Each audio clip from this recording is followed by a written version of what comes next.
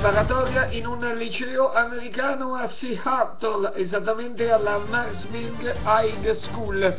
Almeno due studenti sono stati colpiti, ma le loro condizioni al momento non sono note.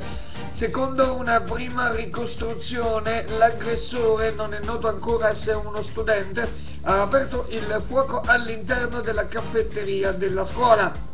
Non è ancora noto se l'assalitore sia ancora dentro il eh, liceo. Tra l'altro proprio pochi minuti fa un giornale locale ha citato alcune fonti secondo cui colui che ha sparato all'interno della struttura sarebbe stato ucciso. Il liceo si trova a nord di Seattle.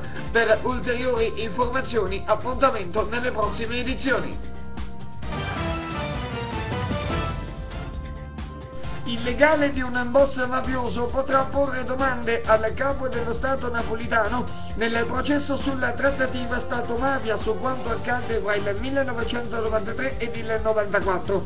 Lo ha deciso la Corte d'Appello di Palermo accogliendo la richiesta dell'avvocato e rimarcando l'assoluta disponibilità del capo dello Stato per il prossimo 28 ottobre. Dopo la parentesi europea torna il campionato di Serie A con ben tre anticipi al sabato per l'ottavo turno di andata.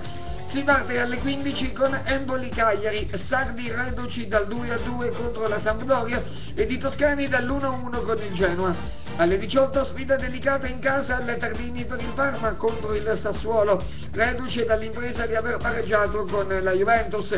Infine alle 20.45 la Roma dopo il 7-1 in Champions League ad opera del Bayern Monaco cerca i tre punti a Marassi contro la Sampdoria.